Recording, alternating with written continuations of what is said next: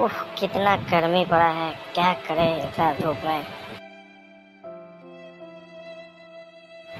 ये धूप तो रुकने का नाम ही नहीं ले रहा है। काश पानी हो जाता, थोड़ा चैन मिलता। ये देखने में तो कौन आ रहा है, लगता है रावण है क्या? इसको बुला के देखते हैं कौन है। ए, रावण! रावण! क्या हुआ मेरे दोस्त गजनी? काय पुकार रहा है हमको। रावण तुम इतना धूप में कहाँ जा रहे हो? रावण तुमको गर्मी नहीं लग रहा है? हा हा हा हा हा हा।